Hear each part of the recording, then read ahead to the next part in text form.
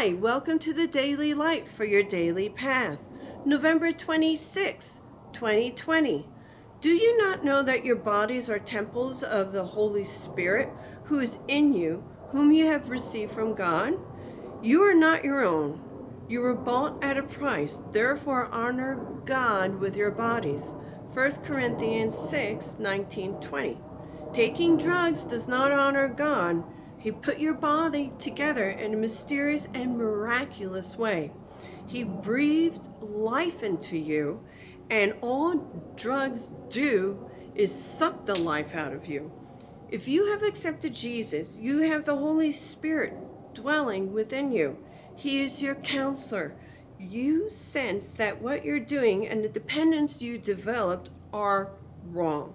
Make the choice today to seek help for this disease of addiction. God wants you to be well. Yes, He does. He wants you to shine for Him. You can't do that when you're weighed down with substance addiction. Right now, all of your focus goes towards when you will get your next fix. Can you imagine the freedom that you could experience if you walked away from that life? God has extended His mighty hands to you. Leave drugs behind and seek a new life starting today. Well, that's it for the Daily Light. My name is Linda. Remember, Jesus loves you, and so do I. Until next time.